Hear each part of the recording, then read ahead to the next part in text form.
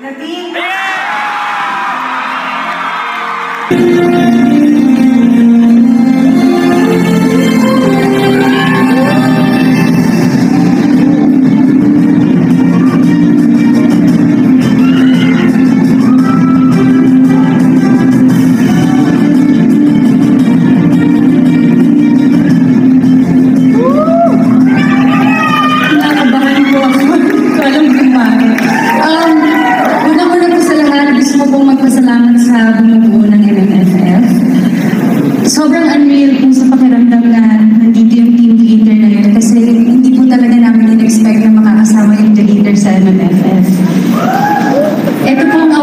to, uh, dinededicate ko po to sa pamilya ko, um, sa mga kaibigan ko na patuloy na sumusuporta sa akin, sa boyfriend ko po si Chris.